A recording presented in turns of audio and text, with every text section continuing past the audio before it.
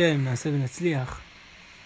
היום אנחנו בסייעתא דשמיא נבוא ונלמד כמה דברים נפלאים שיכולים לעורר כל אחד ואחת, שיחשוב קצת טיפה על החיים שלו, מה בעצם באמת הדברים החשובים שיש לאדם בחיים. ואני אתחיל בסיפור אישי דווקא. היום סיימתי ללמוד, מתקשרים אליי, מספר לא מוכר. אני בדרך כלל עונה, כיוון שזה שאלות, תשובות. שלום, שלום וברכה, הגענו לזה וזה, כן. מה השאלה שלכם? רצינו לדעת אם אתה רוצה משכנתה. להם לא, ברוך השם. או, יש לך משכנתה, אתה רוצה למחזר אותה, יש לנו תנאים יותר טובים. מה זה מחזור משכנתה? הם יבואו וישלמו לבנק חלק מהתשלום ואתה תשלם להם ריביות אחרות. יודע, לא, לא, לא, ברוך השם. או, יש לנו עצה אחרת בשבילך. אתה רוצה אולי הלוואה לעסק? כמובן, נחמדים מאוד. חיוך, הלוואה לעסק, נלווה לך, תנאים טובים. אמרתי לה, העסק היחיד שלי, ברוך השם, בעולם הזה, זה זיכוי הרבים, חזרה בתשובה, לעשות חסדים, וזה ברוך השם, אנחנו לא צריכים כסף. הכל הקדוש ברוך הוא שולח. עוד לא גמרתי את המשפט, כבר שמעתי את הצליל. טו, טו, טו. ניתוק בפנים. כבר נהייתי לא רלוונטי. אם אתה לא רוצה ריבית, אתה לא רוצה את. שאנחנו נעשה עליך כסף, לפעמים זה ריבית שאסורה מהתורה, לפעמים רק מדי רבנן. לא כולם באמת עושים היתר עסקה, אתה נהפך כבר ללא רלוונטי. ואז חשבתי לרגע, שלמה רק נשיא ארצות הברית שמו אותו על הדולר? הרי בעצם כל בן אדם שמתקשרים אליו למשכנתה, צריך לשים אותו על הדולר. הם רואים אותך בתור דולר. הם רואים אותך אך ורק בתור כסף. זה מה שמעניין אותם. ברגע שלא מעניין אותם, פה זה נגמר. אתה לא מעניין, אתה לא רווחי, אתה לא כלכלי, שלום. אבל אתה אומר לו, רגע, אני רווחי מאוד, אני עושה מצוות, זיכוי הרבים. מקבלים צליל, צליל ניתוק, יפה מאוד, נחמד, ניתוק עם חיוך. זה מראה, לצערנו, איפה רוב העולם, איפה המחשבה של רוב העולם נמצאת. היה באמריקה לפני בערך 25 שנה, עשו איזו תוכנית גדולה של כמה פסיכולוגים, יהודים ולא יהודים, והציבו שאלה גדולה לפני אלפי אנשים. אם היית רוצה לפגוש מישהו מההיסטוריה, את מי היית רוצה לפגוש? מה אתה אומר, הרב? מי היית רוצה לפגוש מההיסטוריה?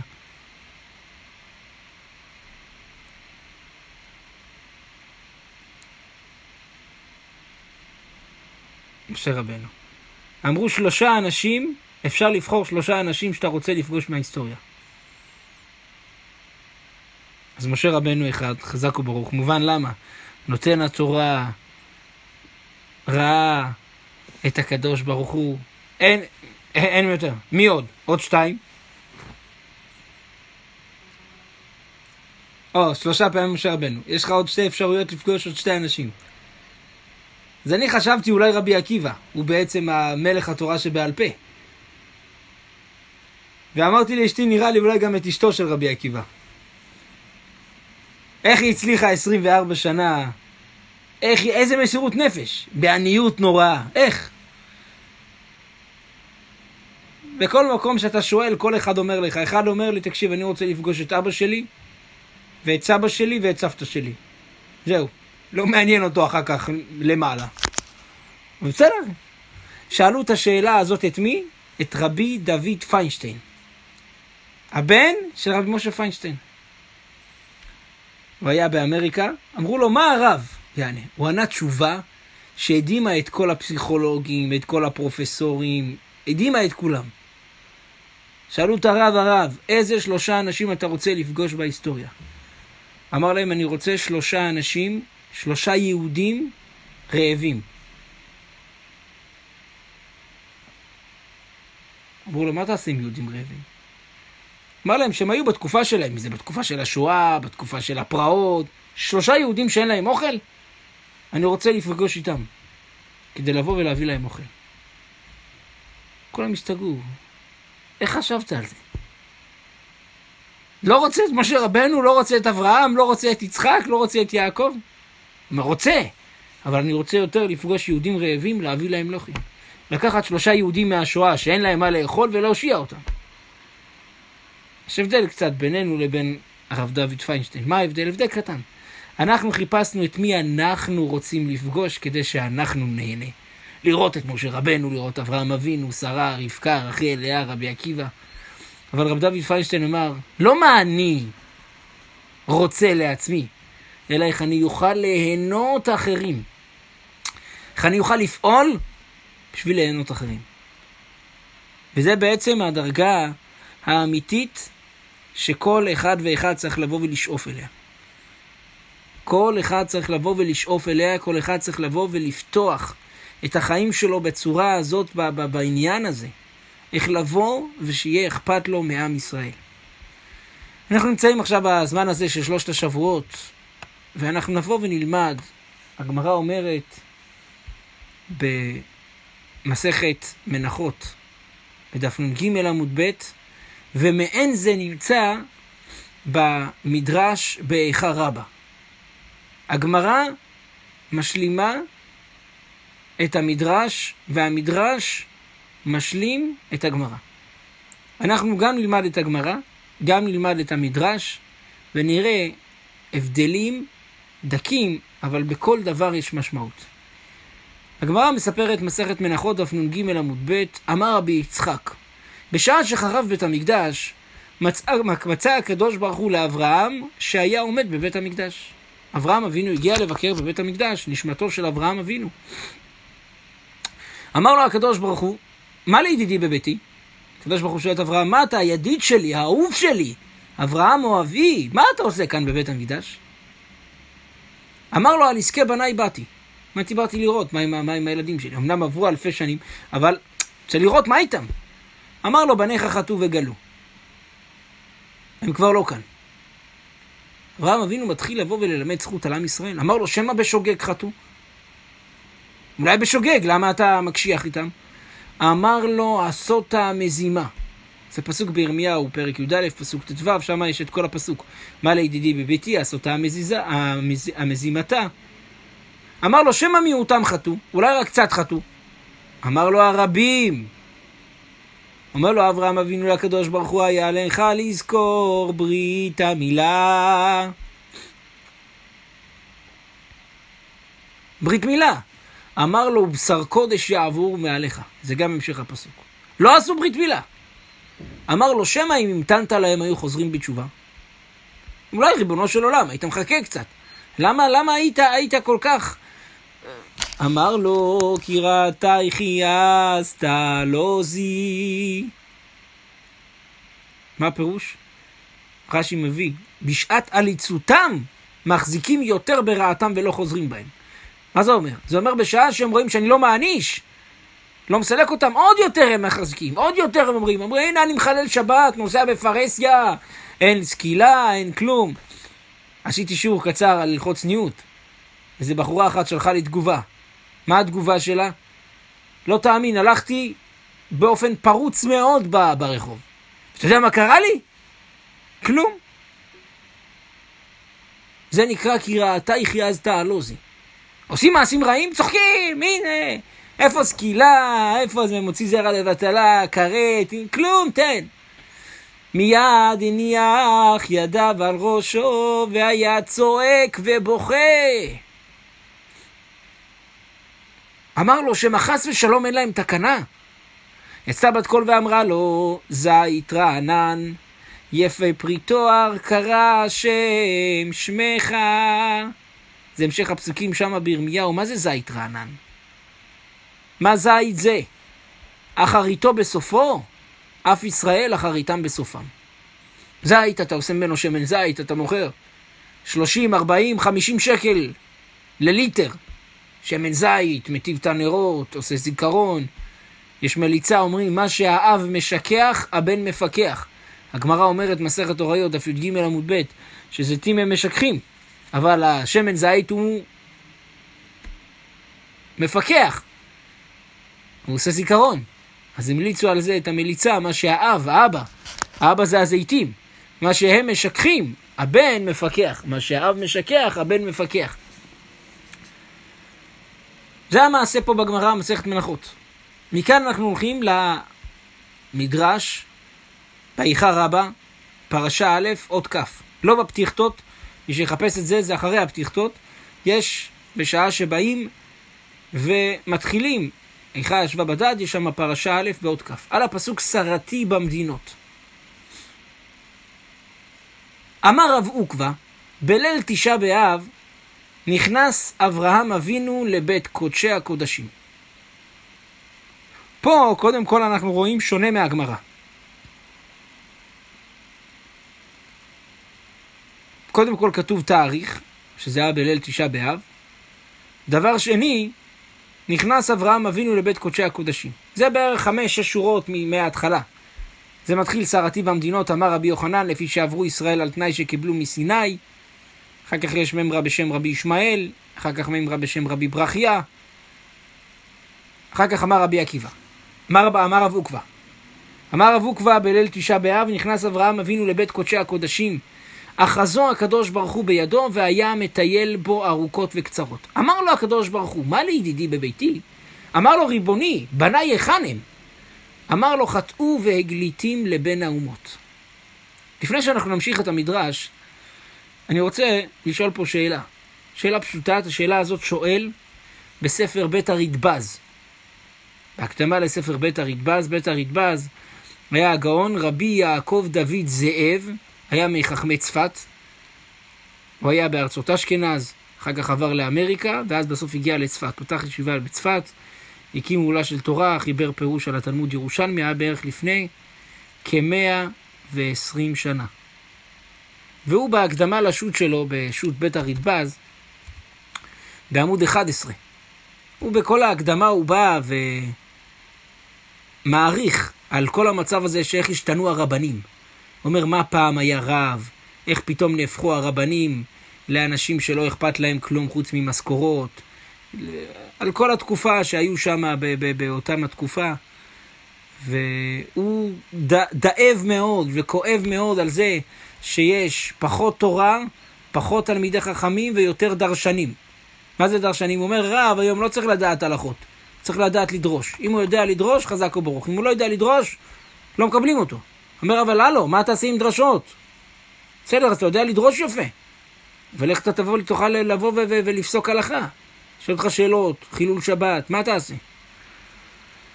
אז הוא בא ומדבר על הירידה של התורה, על הירידה של עם ישראל, כל הדברים האלו, שהכל בגלל שירדו בלימוד התורה.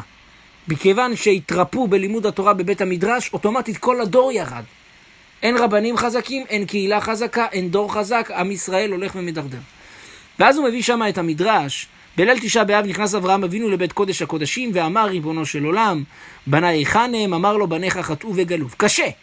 מדוע נכנס אברהם אבינו לבית קודש הקודשים לחקור על בניו היכן הם? איך יימצאו בניו בקודש הקודשים? הלא אסור לזרים ולכהנים להיכנס שמה. רק הכהן הגדול ביום הכיפורים. אז איפה מצאת לחפש את הבנים שלך בקודש קודשים? לך תחפש אותם בשוק מחנה יהודה, חפש אותם ברחובות, חפש אותם בברזלים, חפש אותם... מה, מה הם עושים בקודש הקודשים? והוא מבאר, העניין הוא שאברהם אבינו עליו השלום, כשהלך בחוצות ירושלים, וראה איך פרץ המסחר, חנויות, סחורות, מינים ממינים שונים, יש כסף וזהב לרוב בירושלים. המצב שלהם טוב, ברוך השם, הכל בסדר, הוא לא התפעל. זה לא אומר שבעצם ימשיך המצב האידיאלי הזה. למה? כבר אמרה התורה שהקדוש ברוך הוא, אם חס ושלום, הוא ירצה להעניש את עם ישראל, הוא יביא להם אויבים עד רדת חומותיך הגבוהות והבצורות אשר אתה בוטח בהם בכל ארציך. זאת אומרת, יש לך בניינים ויש לך קריירה ויש לך כסף ויש לך זהב, הקדוש ברוך הוא אומר, אני אקח את הכל, אני אשמיד את הכל.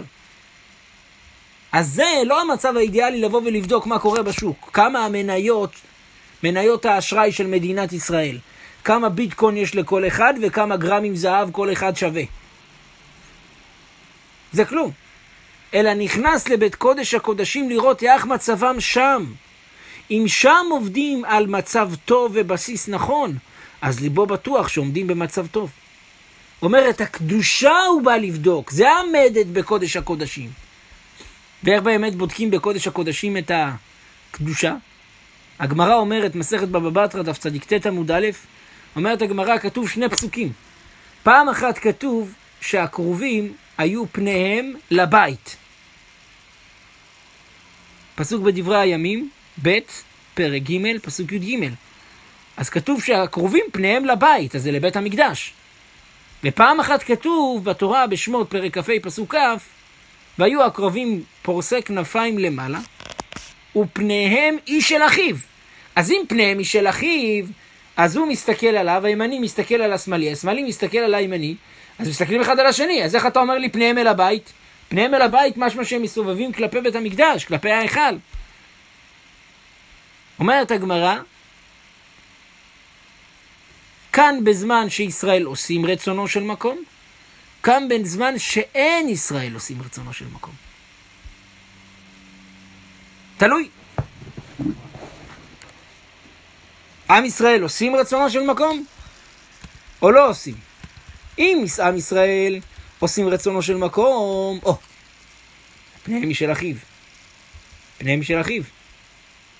אבל אם חס ושלום עם ישראל לא עושים רצונו של מקום, פניהם לבית. אז בא אברהם אבינו ונכנס, לאן הוא נכנס? לקודש הקודשים. לראות, יש גרף, גרף מדויק, מדויק, מדויק. האם עם ישראל שומרים עניינים של קדושה, לא שומרים עניינים של קדושה? ולפי המדד הוא בבית המדרש. המדד הוא של המצב של עם ישראל, הוא לא למצב של שר החוץ, של משרד החוץ. לא, לא, לא. מה המדד? המדד הוא איך הקדושה. איך הקדושה, איך בבית המדרש הם נמצאים, כי זה משפיע על הכל. אני רוצה להמשיך עוד במהלך הזה, הגמרא אומרת ביומא דף נ"ד עמוד ב', אמר יש לקיש בשעה שנכנסו נוכרים להיכל, ראו כרובים המעורים זה בזה. שבאמת שם, איך שהם נכנסו להיכל, הכרובים היו פניהם משל אחיו. אז כל המפרשים שם שואלים, רגע, הגמרא הרי אומרת שבשעה שעם ישראל חטאו, אז הקרובים הסתובבו. הקרובים הסתובבו. אז מה פתאום פה אנחנו רואים שהקרובים פניהם משל אחיו? מעורים זה בזה, מחוברים אחד אל השני. יש כמה תירוצים. אנחנו נלך על הכיוון הזה, בעצם, כשעם ישראל כבר נחרב את המקדש, הרי בשעה שנכנסו נוכרים להיכל, כבר עם ישראל נחרב, זהו. עם ישראל כבר גלה, שלושה שבועות רצחו בהם, מאז ש... מי"ז בתמוז עד תשעה באב. הולכים והורגים, הולכים והורגים, מילאו את ירושלים דם. עם ישראל כבר קיבל את עונשו. בא הקדוש ברוך הוא ואמר להם, קיבלתם עונש, אני מיד מתחבר אליכם חזרה. אני אוהב אתכם. אני מיד רוצה אתכם בחזרה. איך אומרת הגמרא שאברהם אבינו בכה? אברהם אבינו הרים ידיו על ראשו, אמר, מה יהיה? מה יהיה? שמא אין להם תקנה, אמרו לו, אל תדאג. מה זית זו אחריתו בסופו, אף ישראל אחריתן בסופן. לפי זה גם מובן, אברהם אבינו נכנס לקודש הקודשים. ככה כתוב במדרש בריחה רבה. מה הוא רואה בקודש הקודשים? הוא רואה את המצב של עם ישראל. זה היה הרי אחרי החורבן, זה היה בליל תשעה באב. אז זאת אומרת שהכרובים, איך הם היו נראים? באיזה צורה?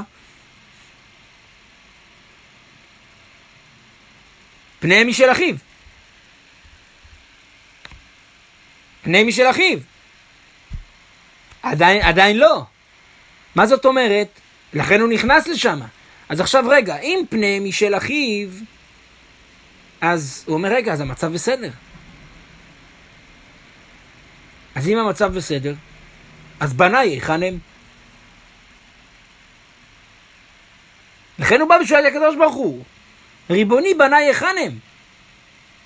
אמר לו חטאו והגלתים לבין האומות. אמר לו, לא היו בהם צדיקים? אמר לו, עשותה מזימתה. אין, כולם. אמר לו, היה לך להסתכל בטובים שבהם. אמר לו, סוגי הון בישין. הטובים, הטובים, עושים מעשים רעים גדולים. דכתיב עשות המזימתה הרבים. אמר לו, היה לך להביט לברית מילה שבבשרם? אמר לו, חייך כפרו בה. כפרו בה. נגמר. איי איי איי, כפרו בה. נו, מה, מה יעשה עכשיו? עכשיו, מה העניין? העניין שאנחנו אומרים שכפרו, כפרו בה, זאת אומרת, כפרו בה ברית המילה ש... שאברהם אבינו קיבל. זה בעצם הברית שהקדוש ברוך הוא בא וקראתי עם אברהם אבינו, ודרך אגב, הראיה שעדיין לא לקחו את הכרובים מקודש הקודשים, כי מתי בעצם נשרף בית המקדש? הגמרא אומרת בתענית בדף כ"ט עמוד א', שרק בסוף תשיעי שרפו את בית המקדש.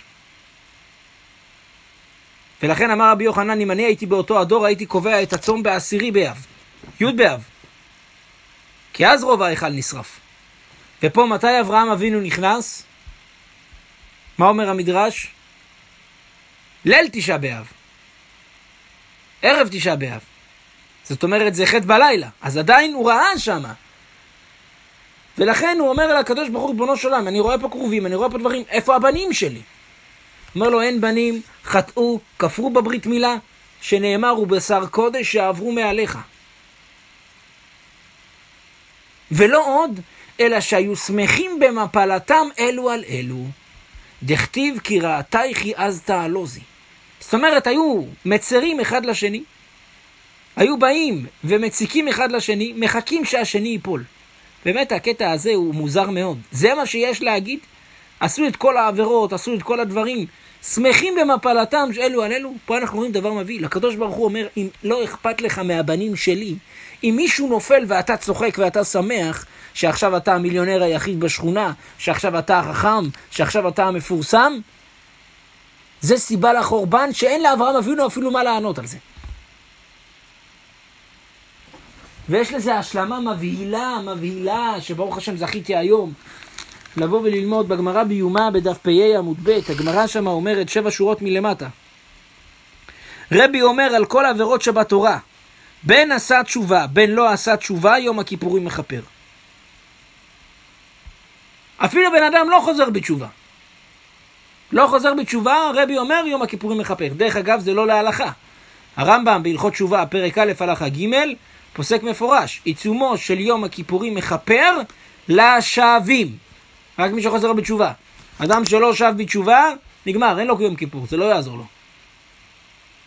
אבל רבי סובר שיום הכיפורים מכפר חוץ מפורק עול, אדם שכבר כפר פורק עול, ומגלה פנים בתורה, יש כאלה לא גורסים מפורק עול, תכף נראה מה הגרסה שלהם, ומגלה פנים בתורה ומפר ברית בשר. שאם עשה תשובה, יום הכיפורים מכפר, ואם לא עשה תשובה, יום הכיפורים מכפר.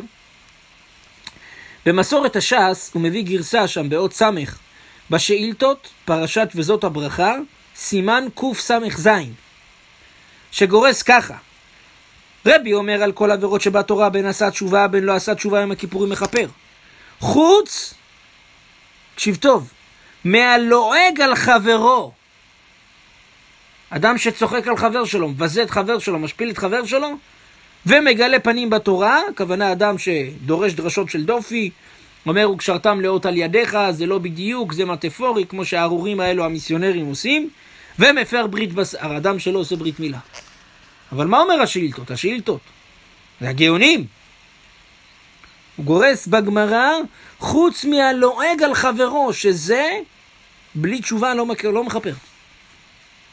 זה בעצם מה שכאן בא ואומר הקדוש ברוך הוא לאברהם אבינו. ולא עוד אלא שהיו שמחים במפלתם אלו על אלו. ובאמת, איך בן אדם מגיע לדרגה כזאת? מה שמח, בן אדם מסכן, נפל, שבר את הראש, הפסיד את הכסף שלו, התגרש, חי ב... ב, ב לא. אם האדם לא מרסן את התאוות שלו, הוא נהיה החיה הנוראה ביותר שקיימת עלי אדמות. היטלר הרג הרבה יותר מכל חיה אי פעם שהייתה. חיה אוכלת כשהיא מרגישה רעבה, תוקפת כשהיא מרגישה מאוימת. לא רוצחת בשביל רצח. האדם כן. וכדי שנכיר קצת את הזוועה של המין האדם, נראה הגמרא אומרת, מסכת חולין דף קכ"ב עמוד א', אמרו לה דבר תורה, מהתורה יש הרי טומאת מת. עצמות של אדם מת, בשר של אדם מת, דם של אדם מת. אמרו לה דבר תורה אור אדם טהור. האור של האדם הוא טהור. ומתם אמרו טמא גזירה שמא יעשה האדם אורות אביו ואימו שטיחין. אבא שלו מת, אימא שלו מתה, הוא אומר אה, פשוט, לפני שקוברים אותם, חבל על האור שלהם, נעשה לי שטיח ככה יפה. רגע, אבל זה אבא שלך? לא משנה. רגע, זה אימא שלך? לא משנה. נעשה ממנו מסגרת, אתה יודע מה, ככה אני אזכור את אבא שלי, מה אני אעשה? אבא שלי לא נתן לי ירושה גדולה, לפחות הנה, האור שלו. בתוספתא, במסכת כתובות, יש דבר הרבה יותר מבהיל. תוספתא, מסכת כתובות, כתובות, פרק י"א, הלכה ו'. בן שמת אביו. יש בן אחד שאבא שלו מת. אמו אומרת, יתגדל אצלי. ויורשים אומרים, יתגדל אצלנו. יש ילד קטן, שאבא שלו מת. עכשיו, האבא הזה, לפני כן התחתן עם עוד אישה, שגם ממנה היה ילדים. האישה הזאת מתה, או התגרש, ועכשיו התחתן עם אישה אחרת, שממנה הביא ילד. הילד הזה הוא קטן. האמא אומרת, אני רוצה לגדל אותו. אני רוצה לגדל אותו, גם מגיע לו חלק בירושה. לא רוצה שהוא יגדל אצלכם. האחים, שהם בעצם אחים מאבא, כי יש להם אמא אחרת, אומרים לא, לא, לא, אנחנו נגדל אותו. לא רוצים שאת תגדלי אותו. למי שומעים? ילך לאמא או ילך לאחים? למה לאמא? כן, אבל אולי אין לה מספיק כסף, האחים יותר עשירים. אומר התוספתא דבר מבהיל. בן שמת אביו ואימו אומרת יתגדל אצלי ויורשים אומרים יתגדל אצלנו. אין מניחים אותו להתגדל אצל מי שראוי ליורשו. אתה אל תיתן את הילד הזה אף פעם לאחים מהאבא שבעצם הם אמורים לקבל חלק בירושה. למה? כי גם הוא אמור לקבל הרי חלק בירושה, וגם הם. והם יעשו הכל כדי שהוא לא יקבל. אומרת הגמרא, מעשה היה באחד, כזה שנתנו לאחים שלו לשמור עליו, ושחטו בערב ראש השנה. לפני שנכנס החג, אמרו בואנה, השנה לא הלך לנו, עשו חשבון מאזן של השנה, חסר לנו 100 אלף דולר. בואי, אתה יודע מה אני חושב עכשיו? 100 אלף דולר זה בדיוק החלק בירושה של אח שלנו הקטן. כן, אבל מה, תהרוג אותו? אומר, כן, תביא אותו. שחטו בערב ראש השנה, על מה? כדי לקבל את הירושה. האדם נהיה חיה רעה אם הוא לא יודע לבוא ולדאוג לחלק הרוחני שבו. זה מה שפה אנחנו אומרים, מה שהגמרא אומרת במסכת יומא בדף ט עמוד ב', שבית המקדש השני קיים על שנאת חינם, שנאת חינם אין, אין אצל החיות. אין אצל החיות שנאת חינם.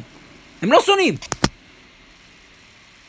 רק מתי שהם מרגישים מאוימים, אתה רוצה לבוא ולשלוט, רוצה להיות הזכר השולט, אבל סתם שנאת חינם, זה האדם, זה האדם בשיא האכזריות שלו. רבי דוד פיינשטיין, כשהזכרנו אותו, הוא בעצם שבר, היה אנטיתזה של המושג הזה שנאת חינם. שנאת חינם היא נובעת מאגואיזם, נובעת מגאווה, נובעת ממחשבה, רגע, אני ואני ואני, איך אני אפגוש את משה רבנו, איך אני אפגוש את רבי עקיבא, איך אני אפגוש, וזה שייך אצל כל אחד. גדולי ישראל הקדושים היו יודעים איך לבוא ולמסור את עצמם בשביל אחרים.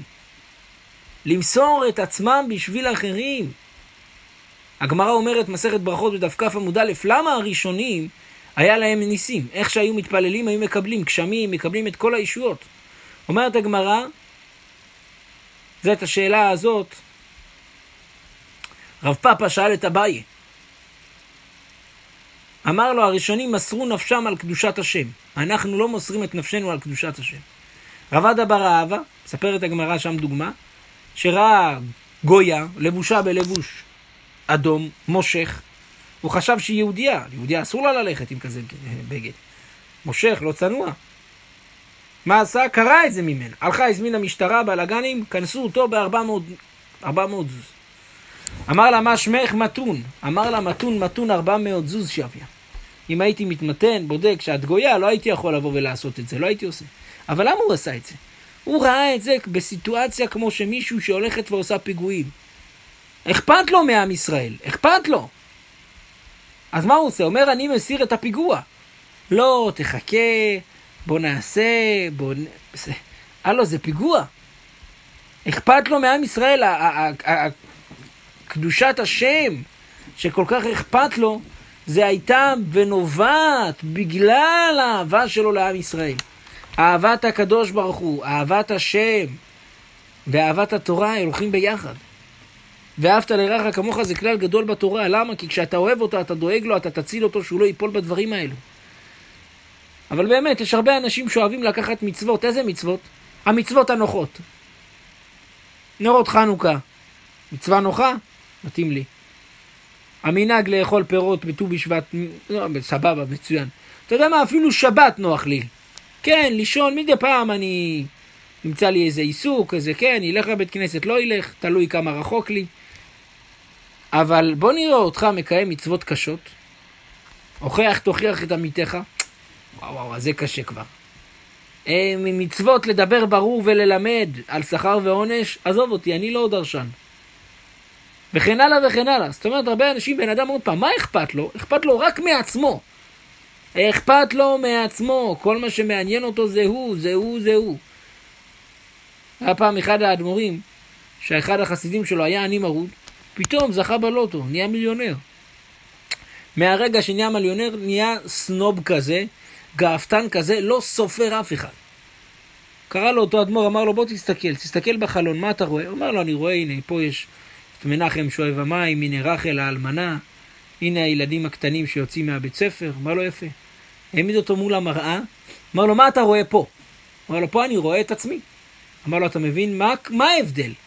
זה זכוכית וזו זכוכית. מה, מה ההבדל? שניהם זכוכיות. למה במראה אתה רואה רק את עצמך ופה אתה רואה את הבחוץ? אתה רואה את רחל האלמנה, את נחום שואב המים. מה, אתה יודע למה? כי על המראה הוסיפו ציפוי של כסף. הציפוי של הכסף הזה הופך אותך לאנוכי, לאגואיסט, לגאוותן צרוח. נסיר את הסיפור כסף, עוד פעם אתה תראה את העולם. אז בגלל שאלוקים נתן לך מתנה, נתן לך לשלוט על כל כך הרבה כסף, אתה רואה רק את עצמך, אין בעיה, אלוקים יסיר את הציפוי כסף הזה. ואז תראה את כולם. זה בדיוק הנקודה, שכל אחד ואחת צריכים לחשוב על אחרים. איך אפשר לבוא ולזכות את הרבים? איך אפשר למצוא שלושה יהודים רעבים? רעבים לתורה, לא רעב ללחם ולא צמא למים כי אם לשמוע דבר השם. איך לבוא ולעשות עוד דברים, עוד דברים. ת, תצא מהדמיון של עצמך. מה בן אדם אומר? אני עובד. בשביל מי אתה עובד? בשביל הילדים. חזק וברוך. זה טוב, זה נחמד. אבל גמרת לעבוד בשביל הילדים. מה אתה עושה אחר כך? אומר, אני נח כדי שיהיה לי כוח לעבוד לילדים. בסדר. בסוף מה יהיה? והילדים האלו, מה הם עובדים? הם גם עובדים בשביל הילדים. וגם הם עובדים בשביל הילדים. גם הם עובדים בשביל הילדים. כבר 3,333 שנה יש אנשים שעובדים בשביל הילדים. מי זה האחרון שיזכה אני לא יודע. מי זה האחרון הזה שבשבילו עבדו 3,333 שנה? מי זה? כל אחד עובד בשביל... בשביל מה? כמה אתה מוכן לבוא ולעבוד בשביל עם ישראל, בשביל עם ישראל. המדרש אומר, החסידה, למה קוראים לה חסידה? כי היא עושה חסד. אז שואלים בעלי המוסר, רגע, אם היא עושה חסד, אז למה עוף טמא? חסד! עושה חסד עם חברותיה. אומרים בעלי המוסר כי עושה חסד רק עם חברותיה. רק עם המשפחה שלה, רק עם הקהילה שלה, רק עם מישהו כמוני. אם אתה עושה ככה, אתה חסיד אבל טמא. אתה טמא. אני לא מוכן לקבל מישהו לא מהקהילה שלי, מי שלא, לא, לא. הרבה אנשים היום עושים את זה בגלל תירוצים. אני לא מכיר, אני לא יודע, אולי הוא יקלקל אותנו. הרב שטיימן אמר על זה. זאת גאווה. והיום זה עוד יותר מגאווה, זו אכזריות. כי יש מקומות מסוימים שיש מקום של לימוד, במיוחד בארצות הברית, אם לא מקבלים שם את הילדים, הם נופלים, השם ירחם, לפאב סקול ולכל המקומות המרים בשיני. זה לא חסידה. זה, זה אפילו לא חזיר, זה חיה רעה שהורסת בני ישראל, את עם ישראל. וזה בדיוק התקנה שאנחנו צריכים לבוא ולתקן. כמה שיותר לבוא ולהשפיע על אחרים. אם אנחנו נלך בדרך הזאת, יש סיכוי שהתשעה באב הזה יהיה האחרון. אנחנו נזכה כולנו לגאולה השלמה במהרה בימינו, אמן תמיד.